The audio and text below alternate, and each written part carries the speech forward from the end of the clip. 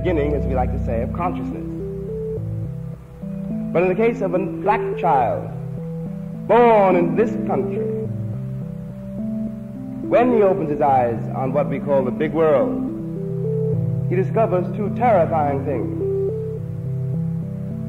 First of all, he discovers that he does not exist in it. No matter where he looks, by which I mean books, magazines, movies, there is no reflection of himself anywhere.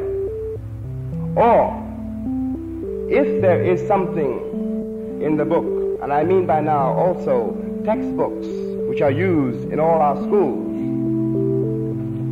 if he looks for himself and he finds anything which looks like him, he is authoritatively assured that this is a savage or a comedian who has never contributed anything to civilization.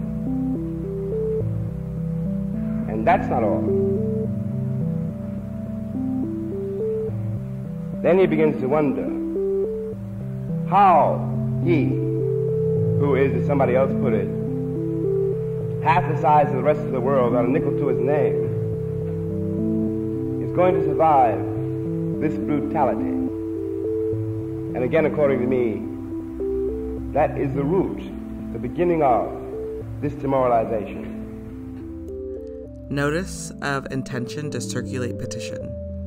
Notice is hereby given by the persons whose name appear below of their intention to circulate the petition within the County of Los Angeles for the purpose of amending Chapter 3.79 of the Los Angeles County Code of Ordinances to revise the powers and duties of the Los Angeles County Sheriff Civilian Oversight Commission.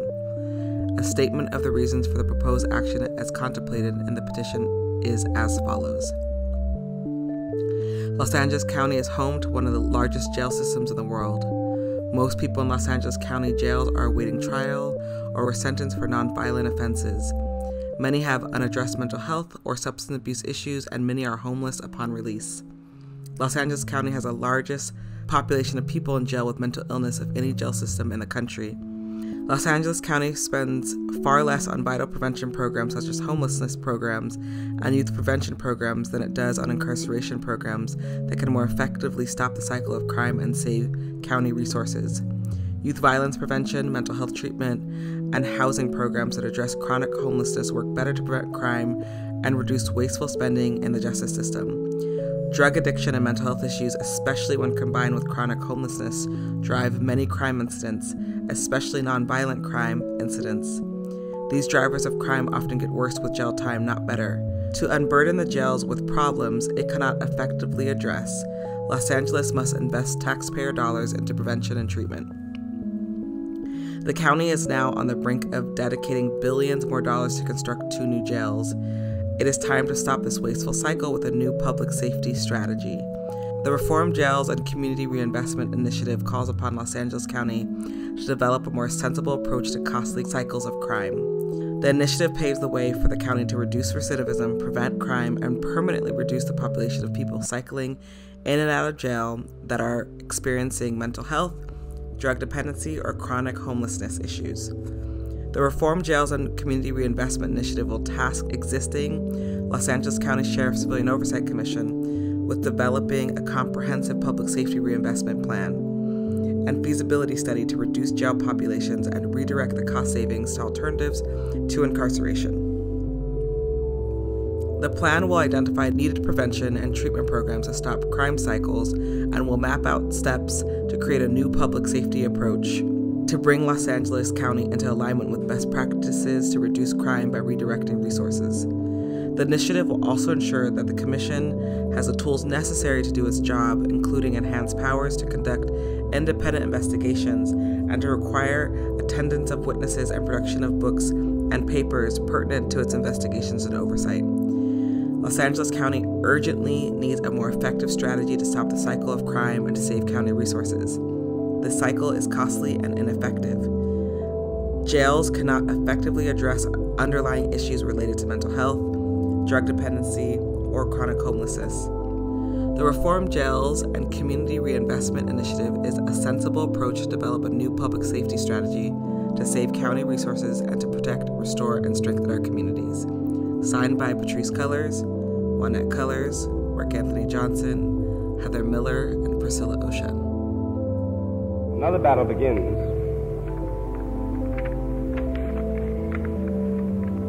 And the battle is involved with wresting, somehow stealing from, creating out of. So entirely hostile environment, some sense of yourself.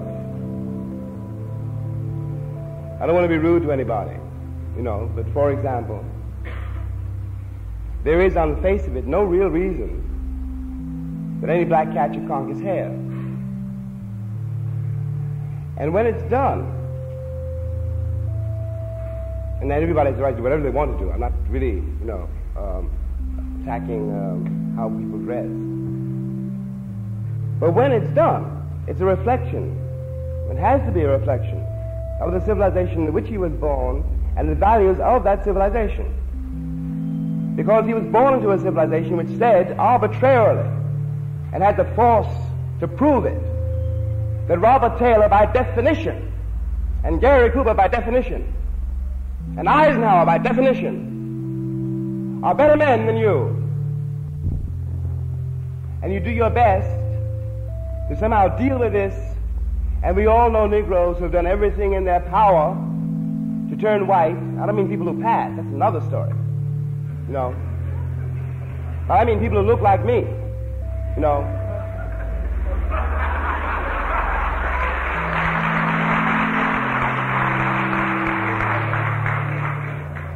who never eat watermelon, you know, never go anywhere near fried chicken, are always impeccable, who cannot be seen at four o'clock in the morning, maybe, without a tie on, because they are respectable.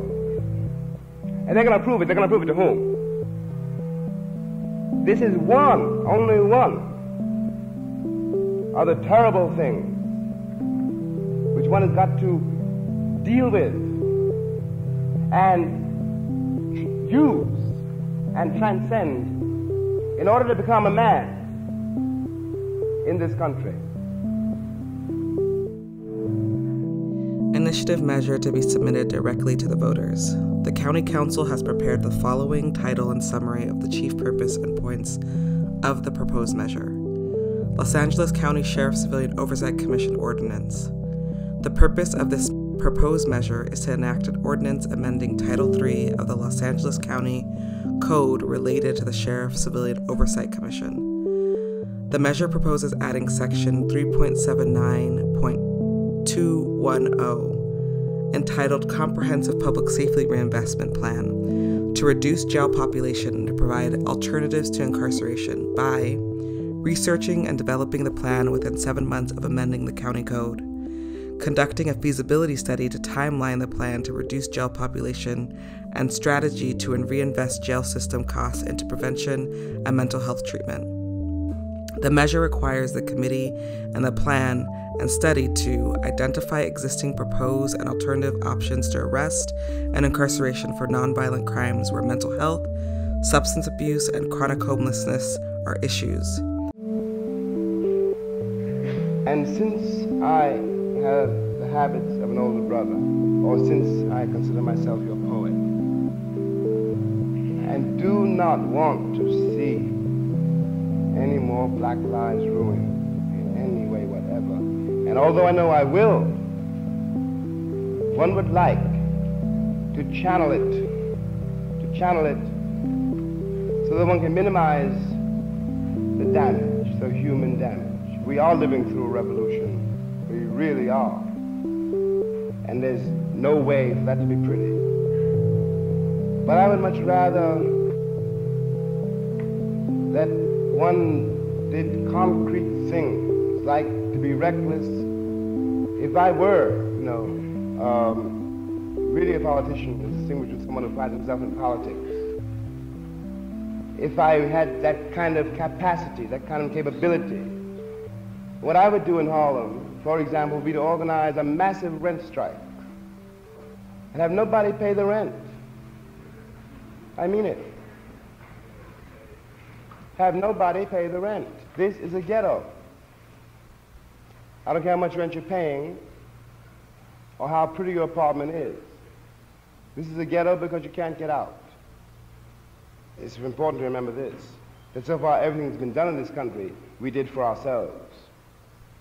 The administration boasts of its record in Birmingham and overlooks the fact that it was in fact the Negro people of Birmingham who forced the crisis. And then the department moved in with too little, much too late. There are things, one has got to be not confused.